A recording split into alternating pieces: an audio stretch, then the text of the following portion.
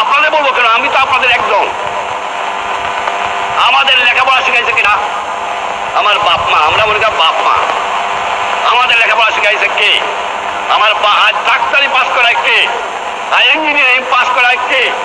আজ science pass করায় কে? আজ বৈজ্ঞানিক করে কে? আজ অফিসার করে কে? কার টাকায়? বাংলার দুঃখী